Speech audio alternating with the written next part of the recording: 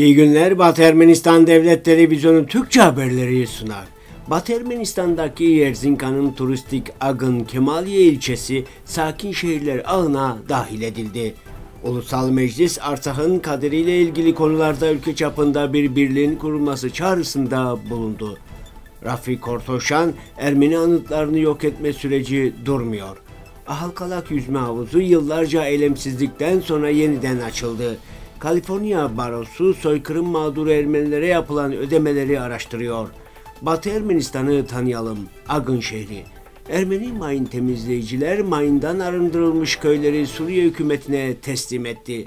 Köprünün inşası Ermeni-Gürcü dostluğunun sembollerinden biridir. Yerzinka Erzincan'ın tarihi ve kültürel değeri ile öne çıkan turistik ilçesi Ağın Kemaliye, Batı Ermenistan'ın sakin şehirler ağına dahil edilen 21. yerleşim yeri oldu. Eski adı Ağın Eyn olan ve Yukarı Fırat Nehri Havzası ile Tarihi İpek Yolu güzergahında yer alan ilçenin adı 1922'de Kemaliye olarak değiştirildi.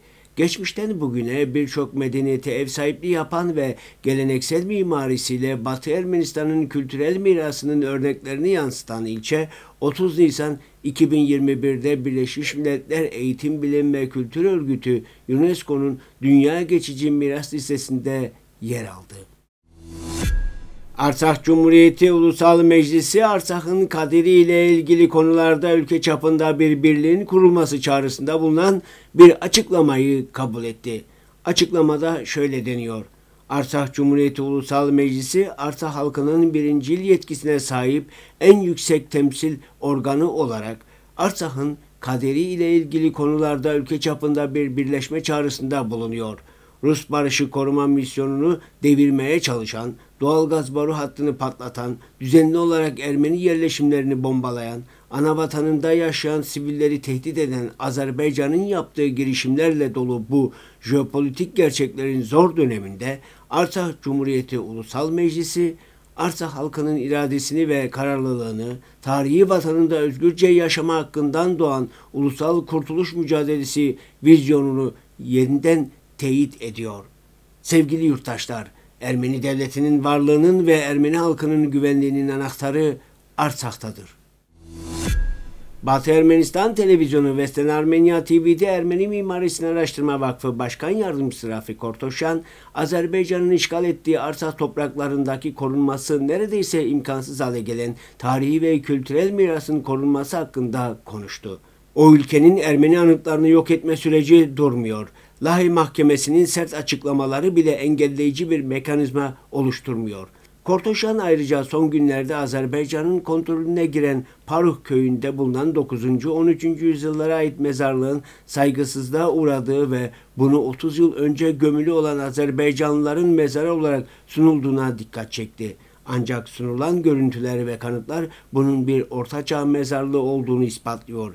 Kültürümüze karşı Azerbaycan'ın şu anda işlediği tahribat, Batı Ermenistan'da uzun yıllardır Türkiye tarafından gerçekleştirilmektedir. Halkalak'ın yüzme havuzu yeniden açıldı ve şu anda su ısıtıldığı için 3-4 gün içinde çalışacak. Spor salonu zaten açık ve ziyaretçilerini kabul etmeye hazır. Havuzun müdürü Martin Gabrielyan'a göre havuzdaki tüm teknik sorunlar çözüldü. Ahalkalak'ın yüzme havuzu 2012 yılından beri faaliyet göstermektedir. Yıllar geçtikçe burada çeşitli sorunlar ortaya çıktı. Neredeyse her yıl havuz birkaç ay çalışmadı. 1 Ağustos 2018'de kapatıldı. Kapanmanın ilk nedeni temizlik çalışmasının kanalizasyon sorununa dönüşmesiydi.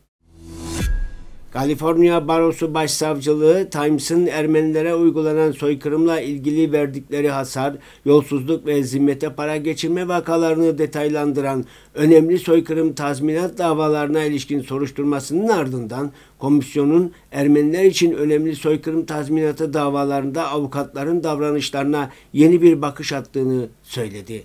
Heyet daha önce bir avukatı cezalandırmış ve diğer iki avukatı soykırım davasıyla bağlantılı olarak cezalandırmaya çalışmıştı. Kurulun yargı başdanışmanı George Cordana, soykırım sırasında öldürülen Ermenilerin soyundan gelenlerin yasal taleplerinin reddedilmesiyle korkunç bir adaletsizlik kaydedildi dedi.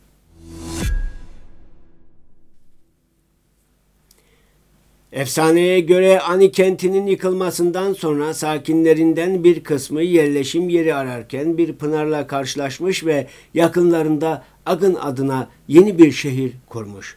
1300-1321 yıllarında Ani'den buraya göç eden Ermeniler kendi mahallesini kurdu ve Surp Hagop Kilisesi'ni inşa ettiler. Antik çağda Agın şehri Poker, Küçük Hayk'ın ikinci Hayk eyaletinin bir parçasıydı. Yeni çağlarda bazen Karin, bazen Harbert, bazen de Sebastia vilayetlerine dahil edilmiştir. 14. yüzyılın başında Agın Türkler tarafından işgal edildi. 3-4 Eylül 1896'da Türk eşkıyaları Agın kentine, Kürtler ise çevredeki Ermeni köylerine saldırdılar. Ermeni halkı katledildi, yağmalandı ve evleri ateşe verildi. Sonraki 20 yıl içinde Ermeniler şehri yeniden inşa ettiler ve Agın'daki yaşam tekrar hareketli hale geldi. Büyük soykırım sırasında çevredeki köyler Ermenilerden boşaltıldı. Bunlardan çoğu kısa sürede göçe ve soykırıma kurban gitti. 1929 verilerine göre Agın'da sadece 41 Ermeni kalmıştı. Ermeni mayın temizleme uzmanları Rusya'nın Suriye'deki uzlaştırma merkezi mayın temizleme uzmanlarıyla birlikte 120 bin metrekareden fazla tarım arazisini mayından temizledi ve Suriye'nin Halep eyaleti hükümetine teslim etti. Suriyelilere göre Rus ve Ermeni uzmanların ortak çalışması büyük miktarda ekilebilir arazi işlemeye ve yüzlerce köylünün hayatını kurtarmaya imkan verdi. Merkez temsilcisi patlayıcı madde temizleme çalışmalarının devam edeceğini bildirdi. Yol Departmanı Vakfı İşletmeler Müdürü Gor Avedisyan ve Gürcistan Karayolları Departmanı Başkan Yardımcısı Levon Kupataşvili, Bagrataş'ın sınır kapısındaki Debet Nehri üzerinde yeni bir köprünün inşaatını takip ettiler. Dostluk adlı köprü Avrupa İmar ve Kalkınma Bankası, Ermenistan Cumhuriyeti ve Gürcistan hükümetleri tarafından finanse edilen ortak bir Ermeni-Gürcü projesidir. Gürcistan Yollar Departmanı Başkan Yardımcısı Levan Kupataşvili, bu inşaatın tek ortak proje olmayacağını, bu tür projelerin gelecekte de devam edeceğini umduğunu belirtti. Bugün için bu kadarını öngördük. Şimdi size Gusan ve Halk Şarkıları Topluluğu tarafından seslendirilen Ermeni halk şarkısı Parilus adlı eseri sunuyoruz.